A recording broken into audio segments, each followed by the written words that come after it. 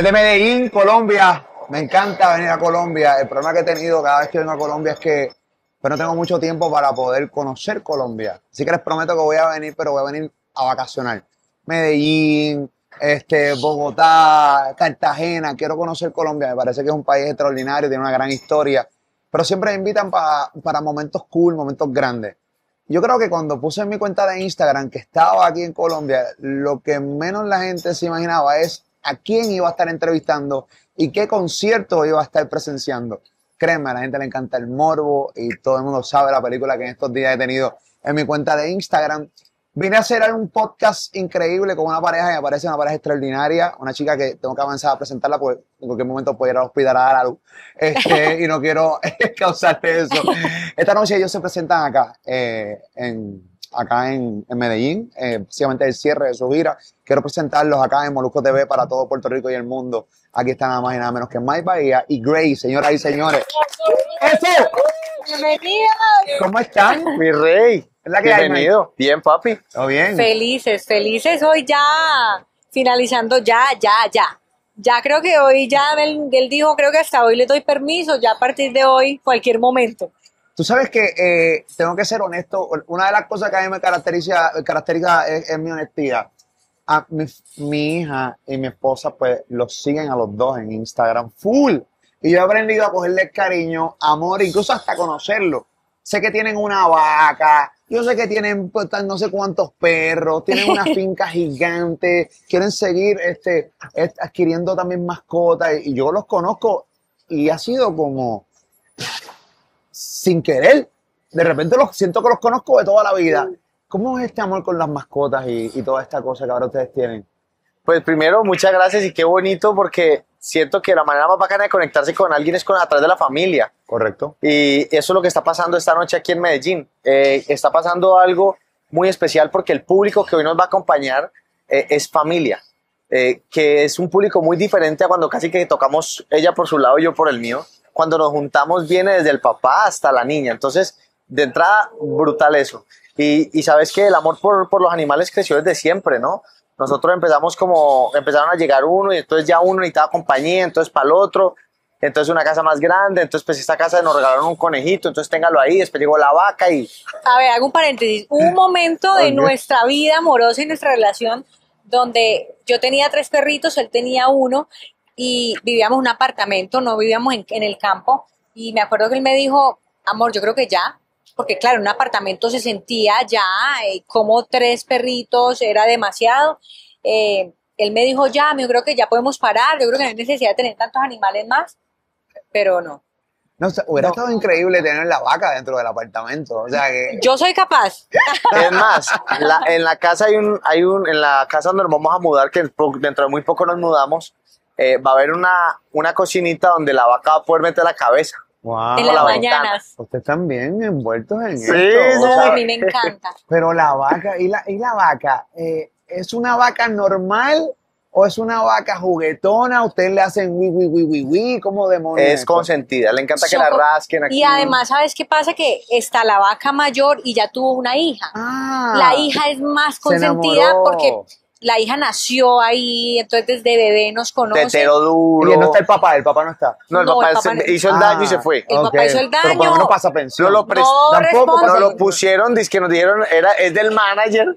Ve, teneme el toro aquí unos meses. Y yo lo vi tan chiquito que yo no me va a hacer nada. nada.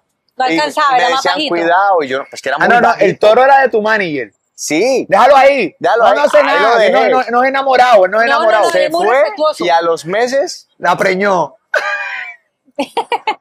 Ahí tienes la. Y entonces también van entonces a mantener la vaquita Claro, pequeña. claro. Claro, no, y pa- para mí el tema de los animales ya hoy en día, para mí no es una opción no tenerlos, porque uno que se la pasa viajando tanto, eh, donde tenés tanto contacto con tanta gente y de una u otra manera gastas mucha energía, llegar a la casa es impresionante como naturalmente vos llegas y empezás como, no sé, los animales tienen algo muy especial y nuestra casa son 12 perros, las vacas, la oveja, los patos, los conejos, las marranitas, eh, las gallinas, todo, entonces es inevitable, ¿no?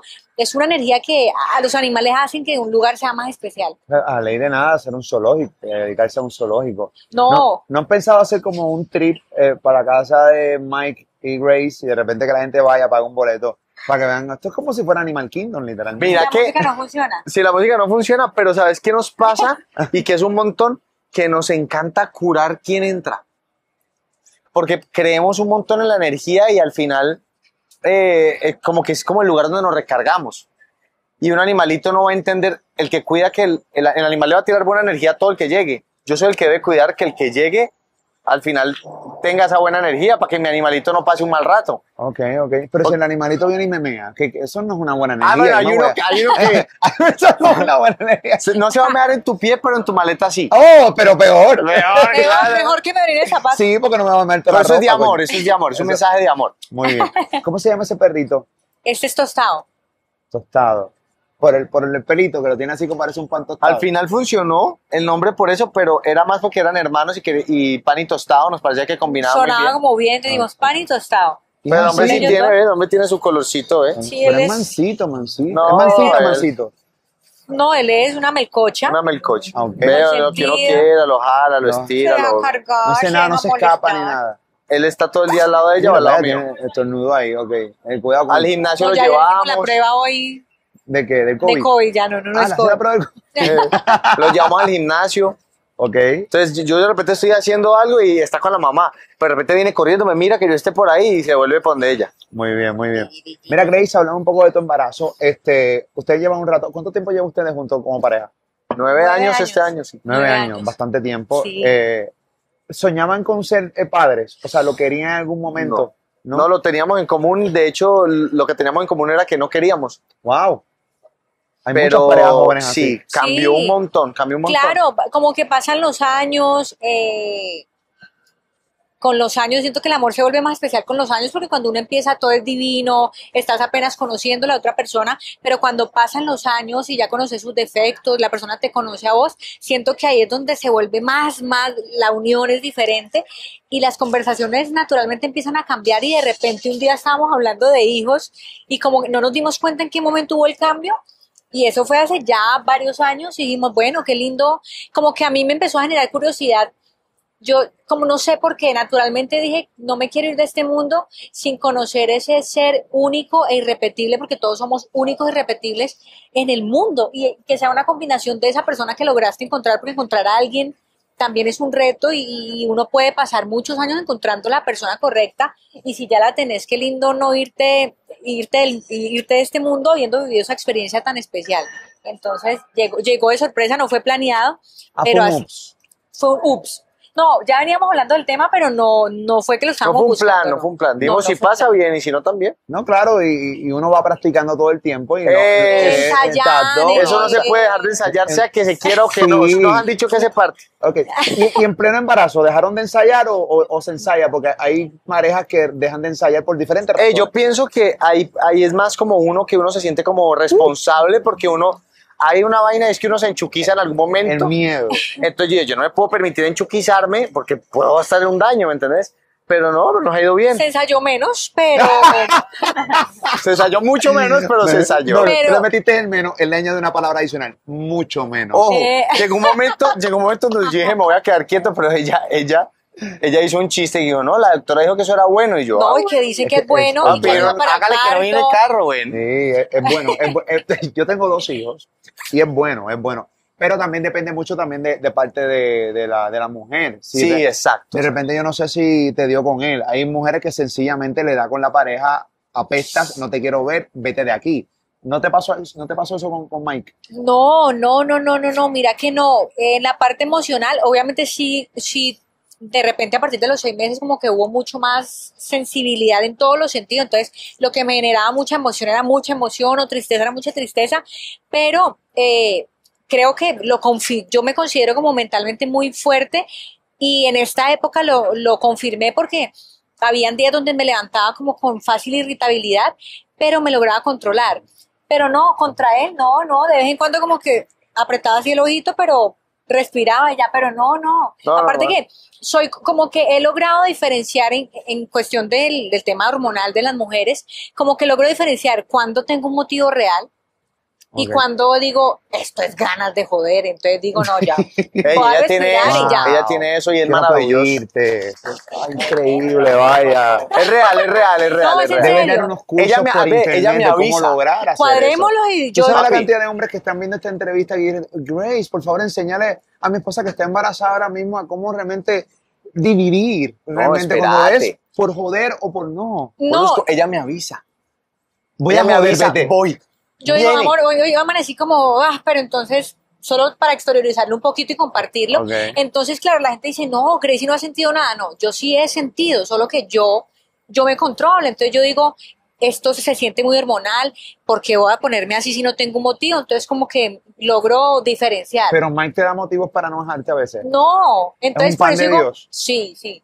Qué lindo. Eh, entonces yo lo No, pellizco. ¿sabe- ¿saben qué me tiene que regañar mucho? Soy muy cascarrabia. Y yo estoy en un punto de nuestra relación sentimental, eh, emocional, administrativa, familiar, bla, bla, bla, donde yo cargo, yo estoy en el punto de tensión.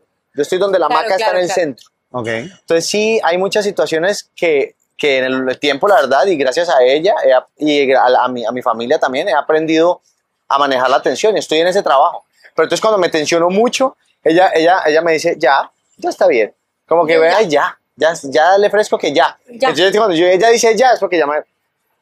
No, igual, igual, las veces que él, él se pone, eres cascarrabia, pero es un cascarrabia emocional, o sea, es como que también eh, tiene una tensión que tiene un, que tiene un motivo, que ya toca como frenarlos para que no se deje llevar por la emoción, pero él es muy emocional, aparte es muy activo a nivel creativo, aparte es muy administrativo, entonces él, él lleva muchas cargas de responsabilidad como de la acción, como que todas las decisiones las tomamos juntos, pero él es el que da la acción, el que Ejecuta. da la comunicación, entonces lleva un, yo entiendo que él tiene una... Y me llega el mensaje a mí de, de lo bueno y de lo malo también. Claro, entonces claro. y siempre es, canalizar eso es difícil. Claro. Completamente. y diferenciarlo. Y Oye, diferen- estoy co- almorzando con mi familia, no importa si se está cayendo la, la oficina, dame dos segundos, vamos a almorzar, pa, pa, pa. Eh, En eso estoy en esta etapa de mi Yo vida. no y- tengo ese talento, yo tengo, yo tengo que aprender a hacer eso y es el hecho de que tratar de dividir el trabajo, o sea, yo no puedo cortar eh, mi trabajo para irme a almorzar tranquilo. Tengo que aprender a hacerlo. yo estoy en eso, porque No, me no, descubrí es- sí. que mi familia lo necesita. Claro. Estoy, estoy chillando dentro de mi entorno. No, de hecho aprovecho, aprovecho este momento aquí Ah, frente a momentos las cámaras. Me encantan. eh, para decírtelo, y es que deberíamos en las horas de almuerzo no Soltar hablar, el celular. porque lo que pasa es que, claro, No hablar qué. De hablar de, porque es que siempre se sienta y entiendo que cuando llega la hora del almuerzo es el único momento Donde estamos todos. donde estamos todos. Entonces llegan Entonces yo todos los cojo al temas. suegro y, le yo tengo que decir como- algo y pi, pi, pi, a ella, a ti. Pero entonces sale el tema tensión, igual nunca, nunca hay tensión entre la familia, sino que digo temas de tensión, digo porque son temas importantes O sea, pero viven todos juntos. con mis padres. Ustedes viven con, con- con- tú vives con los suegros. Sí. Un aplauso. otro ¡Un aplauso! Esta es la, esta es la entrevista de los aplausos. Tú vives con tu suegro. Sí, sí, sí. Pero la casa es gigante, ¿verdad? Que es como si viviera en otra casa. Sí, Bueno, no, esta no. Esta La- no. Esta no, no. La verdad es que te voy a decir la verdad, no. El talento no es mío y el aplauso no es mío. Es para los suegros. Tengo Sí, unos suegros papás increíbles. Son increíbles. Exagerados, ya. respetuosísimo, o sea, de hecho, de hecho, la decisión de vivir con ellos nunca fue mía porque yo desde chiquita dije yo, no, voy- uno siempre se va como con la mentalidad de yo me voy de la casa y uno, exacto, uno no se imagina regresando a vivir con los padres, pero por un momento de la vida donde necesitábamos un apoyo con alguien de confianza porque teníamos tantos animales, él estaba en sus giras, yo en las mías, la casa se quedaba sola, entonces Claro. necesitábamos Sentíamos soledad de alguna manera. Porque esto no se trata de un contrato con alguien, no, es alguien, alguien más allá de un negocio, de un contrato que esté ahí detrás de, no, no de mí ni me interese ni de los de ella, de estos manes. Claro, claro, claro. Y claro. la idea fue de Mike y yo lo miré y le dije como, ¿estás seguro que...? que-?" Pero ha sido, Ha sido la lo mejor más decisión. increíble. Nuestra casa, nosotros somos O niños. sea, Sí, sí, porque, porque Todavía. es como yo, yo más o menos lo puedo entender. En el caso mío, yo tengo mi cuñado, que cada vez que va a mi casa, mi cuñado, el que es el hermano gemelo de mi esposa, él va y uno siente como que hay con alguien diferente con quien hablar y cambia la dinámica completamente de la familia. Totalmente. Y eso es bueno salir de repente de, la, de, la, de lo cotidiano, de lo tradicional. No encontrás ese silencio en la mesa de no saber de qué hablar. de- Exacto. Y sabes que es divino de vivir con mis papás, que nos ha pasado últimamente, que nosotros estamos en un momento de la vida que ellos ya vivieron. Entonces nosotros tenemos el ajetreo, el corre-corre y es divino llegar a la casa y encontrar esa paz que ellos ya tienen. Vea, hoy tuvimos una situación. que- Le voy a mostrar el Cuéntame, ejemplo. cuéntame. Ponme tensión. Hoy Ponme tuvimos una tensión. situación en la casa. En la casa, en la comida, en el desayuno. De tensión, en- de construcción al final, porque todas las tensiones al final o- se destruyen del todo o construyen. Entonces, esta era constructiva como casi todas. Entonces, la suegra se fue para su habitación y me escribió este mensaje.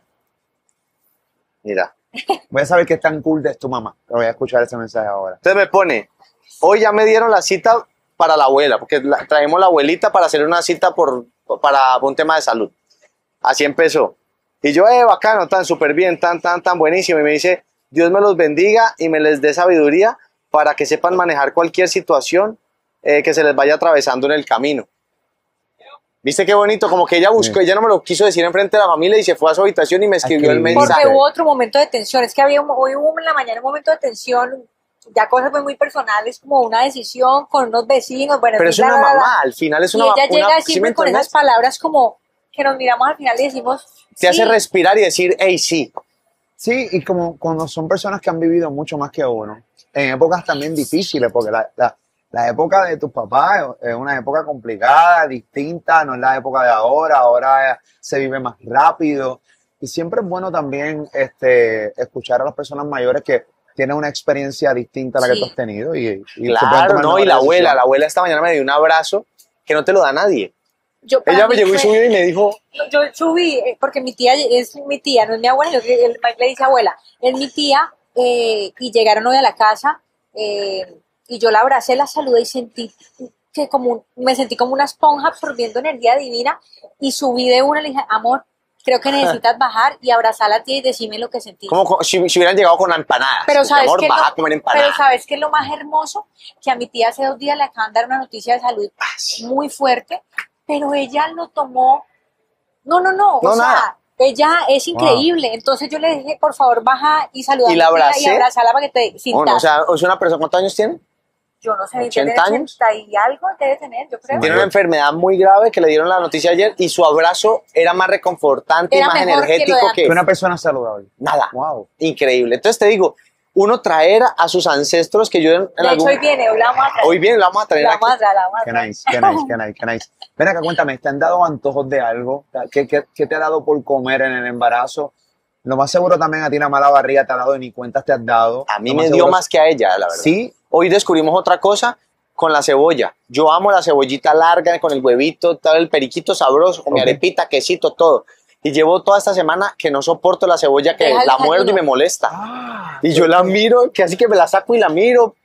¿Qué nos Pero ¿por pasó? qué no me gusta? ¿Qué nos pasó? ¿En qué momento te odio? Sí. No, mira que a mí casi no me han dado antojos. Sí he comido más, hay días como de más ansiedad, pero de hecho me quedé con ganas de vivir eso que dicen que a la mujer le da un antojo y es como que quiero esto ya, no. A ver, yo no sé si, a ver, yo no sé si es por mi, por lo que te digo de que yo soy muy fuerte mentalmente, porque por ejemplo un día me dio, íbamos el gimnasio y me dieron unas ganas de comer salpicón, que es un juguito de puras frutas, y yo, ay, qué rico un salpicón, y me sabía la boca eso. Y él me dijo, listo, saliendo del gimnasio vamos. Y yo todo el entrenamiento pensé en el, pensé en el salpicón, pensé en el salpicón. Cuando terminamos, cogió la tarde, era, había que desviarnos mucho y se- ellos tomaron la decisión de no ir al salpicón. Yo sentí como algo en el corazón y yo dije, como que dije, o, o me da algo o digo, pues tampoco me voy a morir si no me como el salpicón. Me fui a chantar o me aguanté. Entonces, no sé si es que yo me aguanto y me controlo o no me han dado antojos porque no me he sentido nunca así como que desesperada por algo. Ese fue el día que compramos el bananito.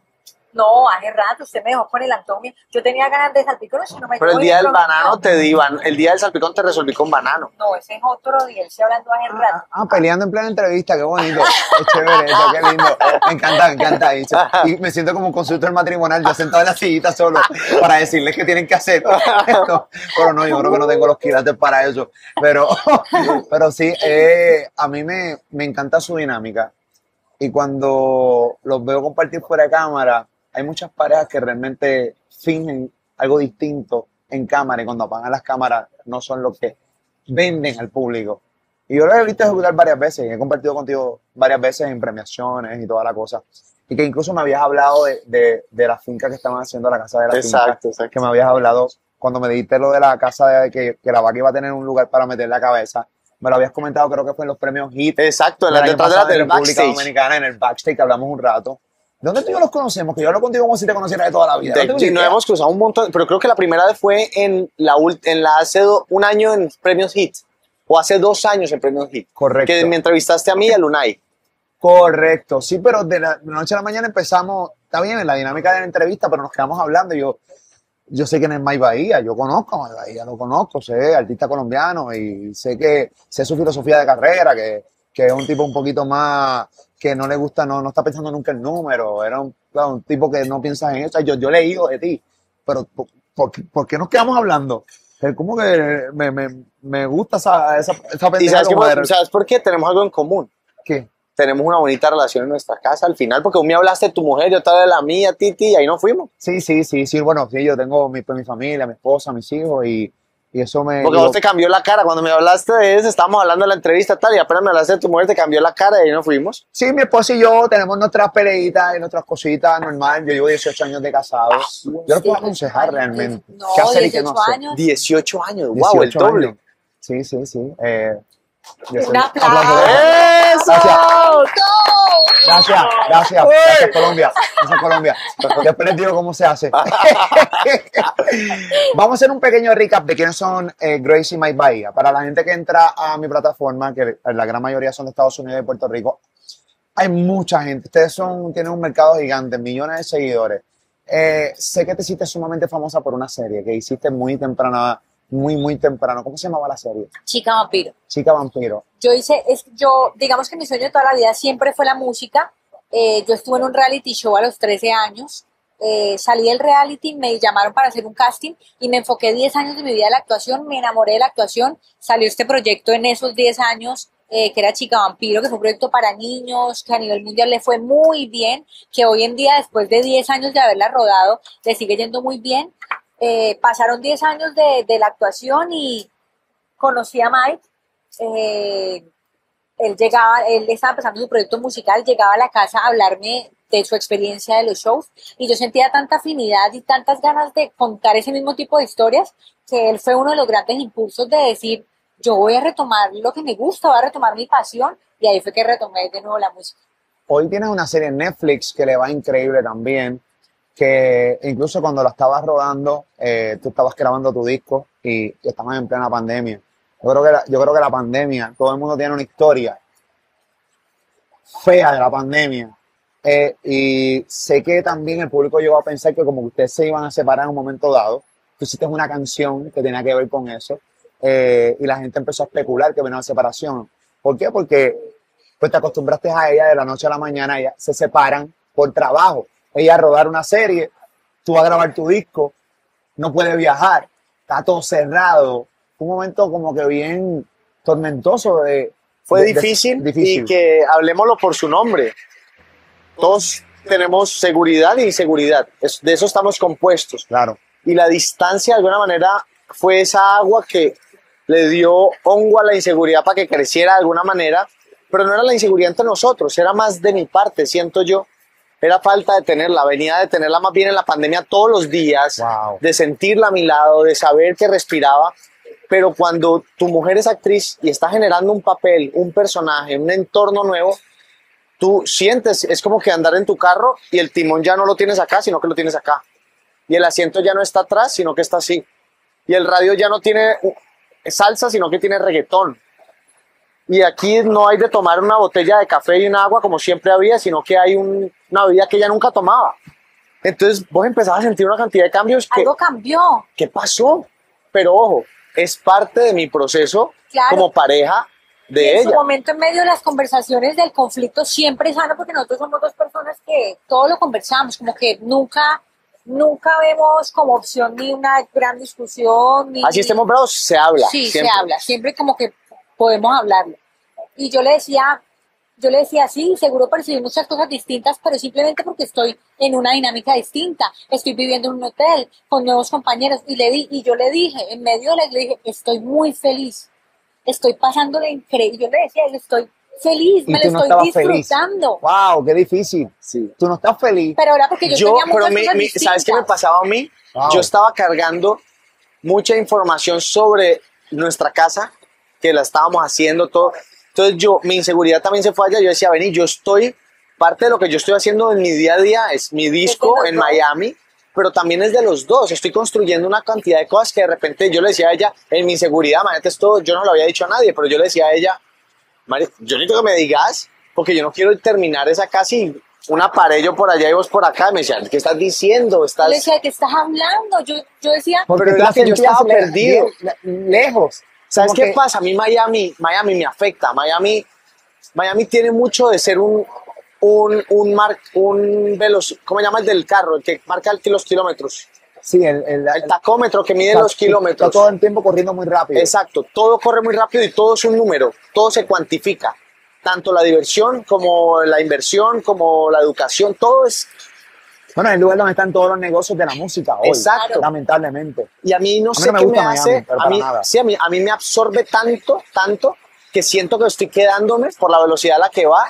Entonces, de verdad que trabajo más del tiempo, me, me sobre, ah, me- en fin, la paso mal. Y a eso se le sumó tanta distancia, Wow. tantos cambios. Y bueno, estaba yo escuchando las canciones de mi álbum y iba a sacar una súper contenta, con Ñejo y con Guaina. Hay amor, súper feliz, tal. Y yo dije, no me siento así. No quiero salir a "Eh, el jangueo, no me siento así. Me siento como esta canción.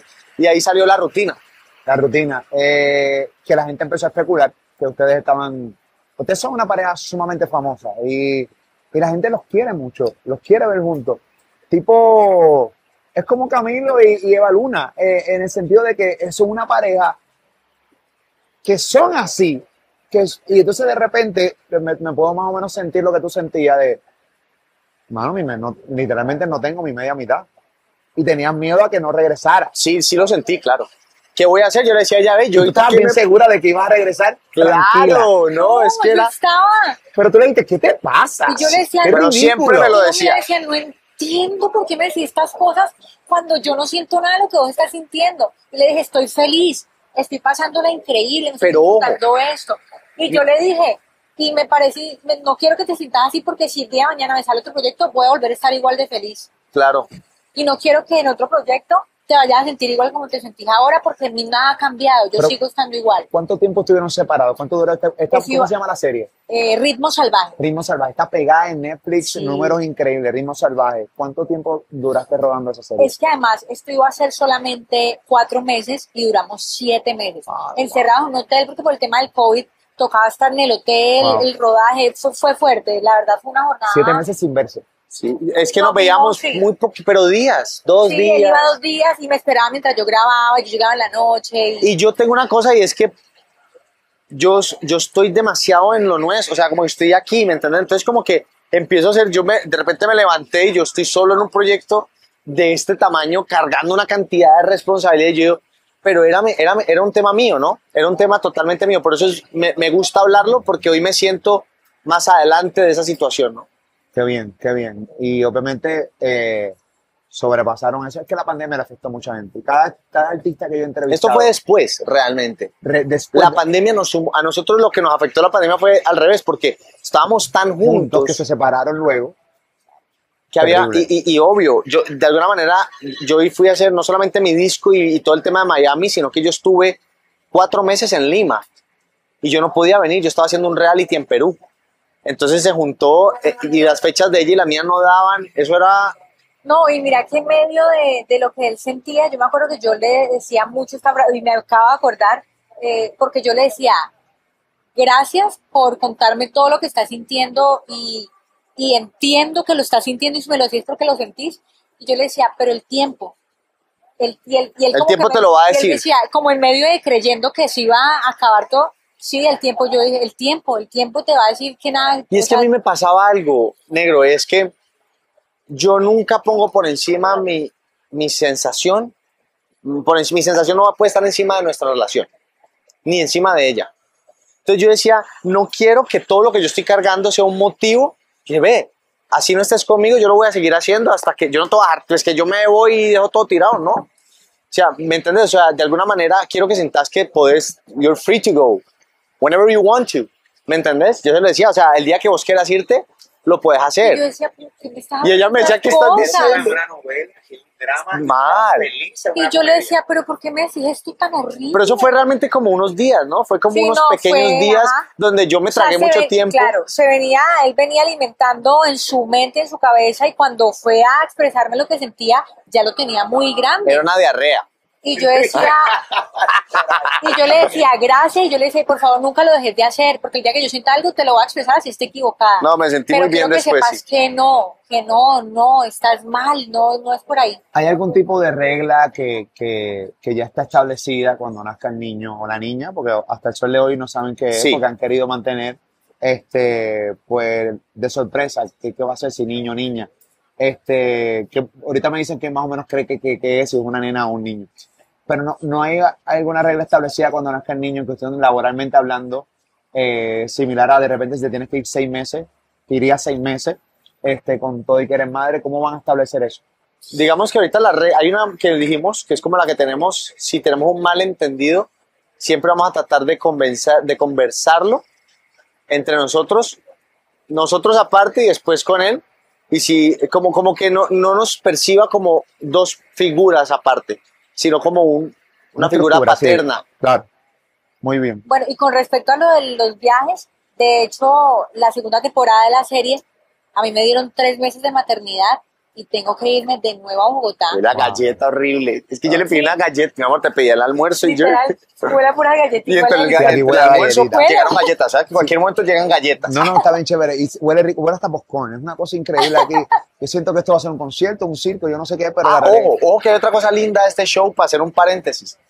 Ella y yo nos garantizamos de que afuera haya para que los niños puedan tener crispetas, Ah, cosas, nice. porque la es para la familia. Si ustedes, si- ustedes cubren todos los demográficos, desde niños hasta, hasta adultos, como lo dijeron al principio de, de, de la entrevista. Me estabas contando que te tienes que ir a, ese- a grabar el segundo season de la serie de Netflix. Claro, que entiendo que va a ser, va a ser un reto completamente, eh, pero ya estamos organizando todo para viajar, por supuesto, con el bebé, porque va a tener solo tres meses, viajo con mi madre, vamos a ver si conseguimos a alguien de confianza Sebas. que la pueda asistir a ella mientras yo grabo, estamos consiguiendo un, tra- un tráiler para poder ir con el bebé, o sea, estamos organizando todo porque va a ser un reto, va- vamos a ver cómo, cómo fluye la cosa. No, no, va a ser un reto y va a ser chulo. Yo creo que es que este es su trabajo y punto.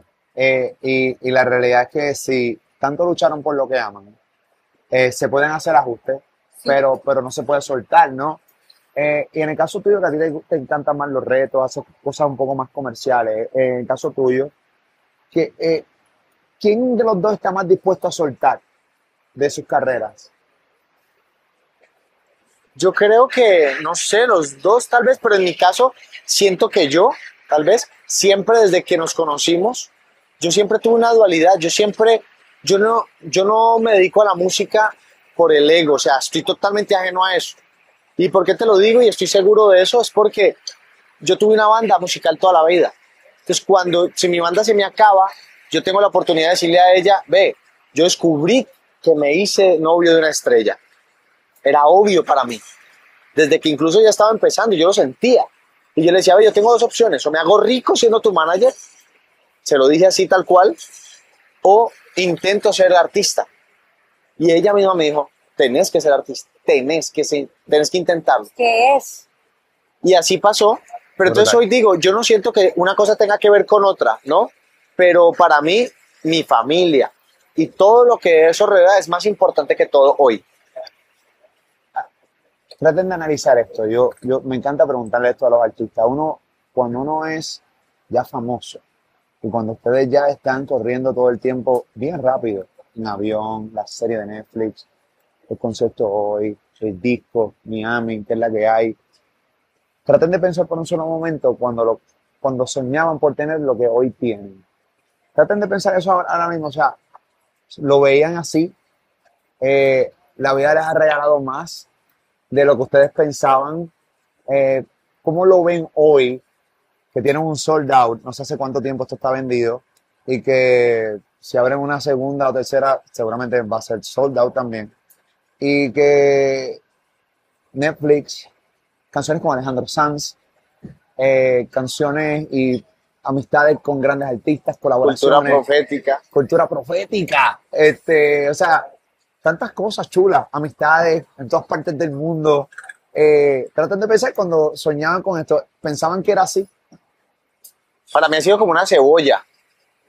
Empecé desde aquí, se han ido abriendo las puertas y cada vez es un aro más grande. Entonces ya hoy no tengo afán de abrir puertas, sino de que por esa misma puerta quepa mi familia. ¡Wow! ¡Qué brutal! Sí, y, y- y la verdad, dijiste ahorita algo que es totalmente lo que, lo que pienso siempre que, que hablamos de estos temas, y es que a mí la vida, por supuesto, ya superó hace muchísimo tiempo lo que yo alguna vez soñaba. Uno cuando niño cree que, no sé, no sé, yo no, yo no me imaginaba que era así, eh, tampoco me imaginaba todo lo que implicaba ser un artista, porque digamos la gente ve lo que hay delante, ¿no? La gente ve el resultado de las cosas, el resultado de un disco, el resultado del show, y eso es lo que uno, cuando uno no conoce los procesos de nada, entonces yo quiero, yo quiero hacer pan, porque ves el pan calientico, horneado que huele rico, pero ¿cómo se prepara el pan? todo lo que implica energéticamente, en sacrificios, siento que, siento que uno desconoce cuando uno sueña algo y no ha vivido lo que es ese sueño, eh, uno ve el resultado. Yo quiero estar allá en esa tarima como esa mujer, como Shakira en mi época, y mover las caderas como ella. Hoy, cuando uno empieza a construirlo, es que entendés, wow, de verdad, algo te tiene que apasionar mucho para caminar siempre a pesar de lo que sea que, que suceda, porque la vida es, naturalmente así, no está mal. Y, y simplemente cuando estás haciendo lo que realmente te gusta, continúas así, estés pasando por un momento que decís, ay, esto me duele y me raspa, pero vamos para adelante, que igual esto es lo que me gusta y cuando esté arriba voy a disfrutarlo más. Entonces siento que uno no dimensiona todo lo que hay cuando, cuando te imaginas cómo podría hacerlo. Brutal. Yo creo que de ahí viene la relación entre las palabras pasión y paciencia. Tienen una, la gente las pasa por encima y yo para mí son hermanas. Yo siento que si tú te dedicas a tu pasión, la paciencia va de la mano.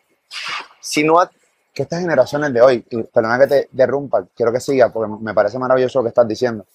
Las generaciones de hoy, y quiero que lo, que lo digan porque los, las generaciones de hoy los siguen full a ustedes, los aman. O sea, mientras ustedes no saben, una vez está aquí en las redes sociales, no saben la cantidad de gente que nos sigue y que, y que los escucha y que los quiere imitar. La paciencia, tenemos un problema de paciencia en estas generaciones. No quieren esperar que le llegue su turno.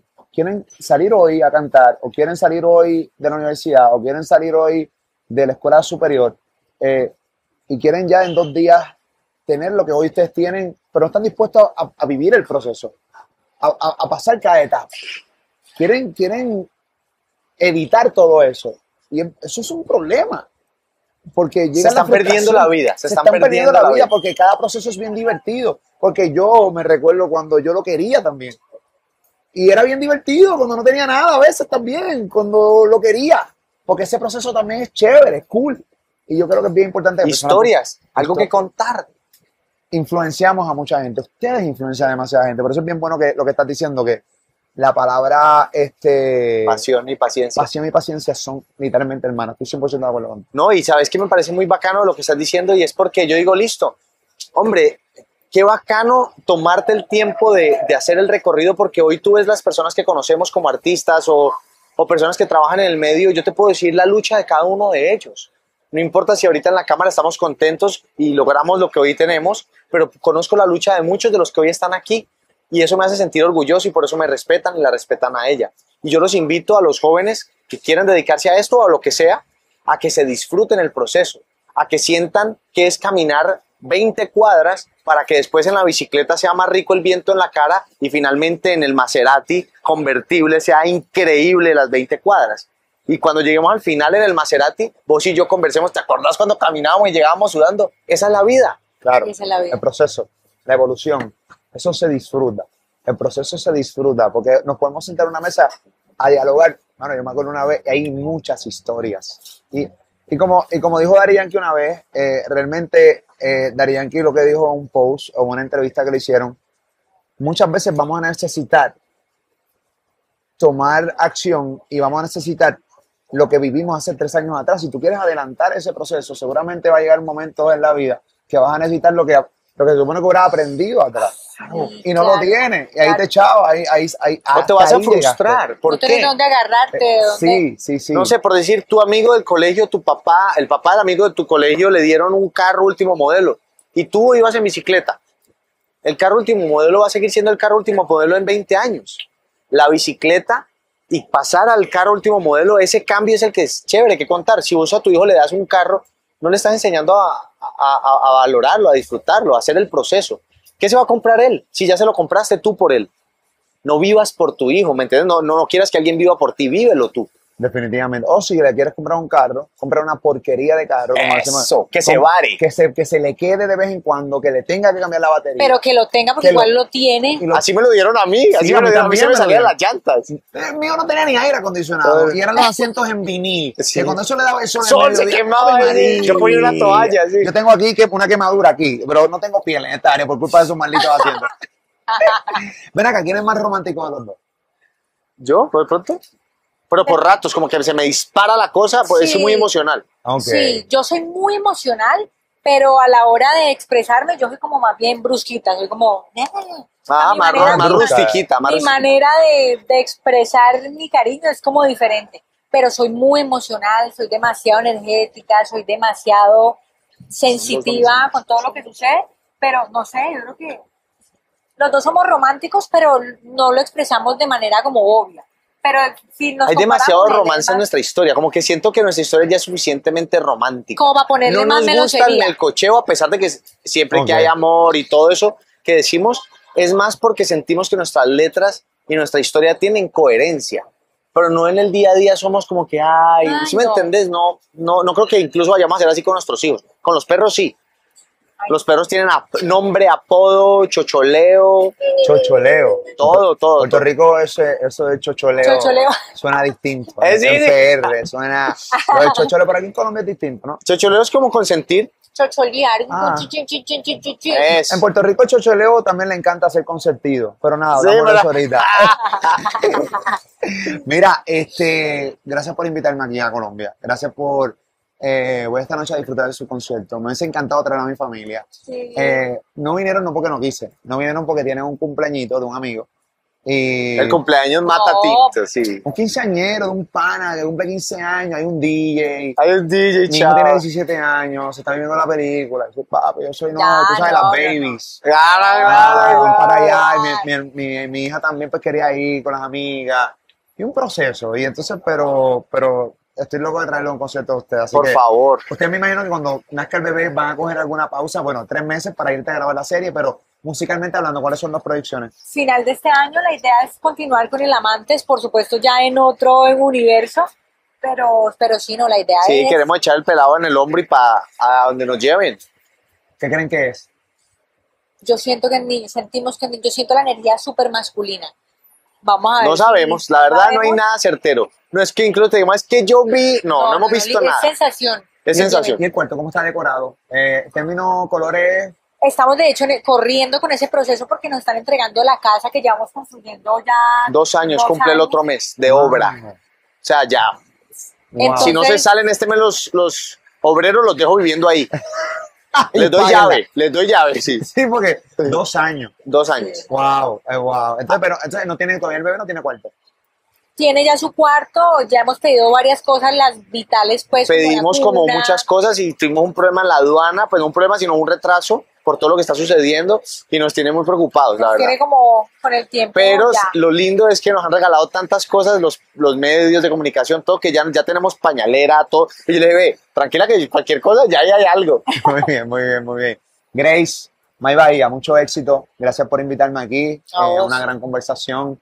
Este, ya se tienen que ir a empezar a preparar. Ya veo, estoy viendo No, almorzar. Almorzar, Almorzar y la galleta que te la pide es verdad. No, voy para allá. Voy a No, no, de ahí está la Velvet. galleta. Y la voy a coger para que vean en, en el, en el, en el blog que estoy haciendo acá desde Colombia, para que vean que me voy a comer la galleta con ellos, ¿ok? Esa es Eso la que es. hay. Así que gracias por estar con nosotros. Bendiciones. Que Dios bendiga a esa criatura que viene por ahí. Y nada, si quieren despedirse con algún saludo a sus fans acá en Molusco TV. Bueno, un saludito, no sé, mi amor, tú. Pues nada, gracias a vos por el espacio, a todos los que estuvieron aquí conectados viendo este momentico tan sabroso, qué, qué conversación tan agradable. Bendiciones y dedíquense a lo que les apasiona de verdad, para que puedan tener mucha paciencia. Exacto, y además dedíquense a hacer equipo con su familia. No impresionen el uno al otro. Juntos impresionen al mundo, que más bonito. Y compartan ahí los gastos y las riquezas. Todo bien. Muy bien. May Bahía, Grace, señoras y señores, brutal. Excelente conversación. Coscotón, Coscotón acá desde Medellín, Colombia, Corillo. Esa es la que hay. Tú suscríbete a este canal de YouTube, comparte este contenido desde Colombia, Molusco TV. Saludos, coro.